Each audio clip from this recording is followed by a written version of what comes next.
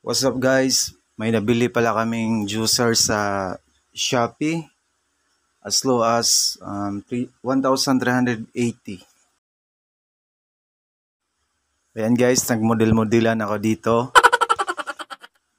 Bumili kami nito para makainom ng healthy and fresh na juice. Tara guys, samahan niyo akong wiwi on ang box.